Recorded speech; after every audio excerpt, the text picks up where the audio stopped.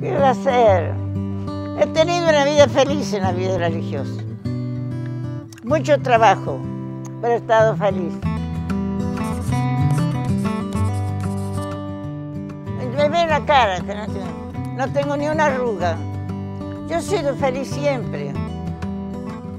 Cuando a la Madre General le pedían una hermana, ¿no está María Lina? María Lina era para todo. Si me entregué al Señor, no, era para, ponerme triste.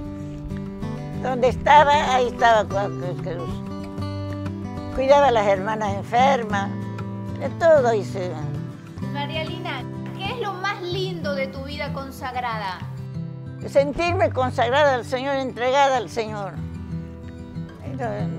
nunca me pesó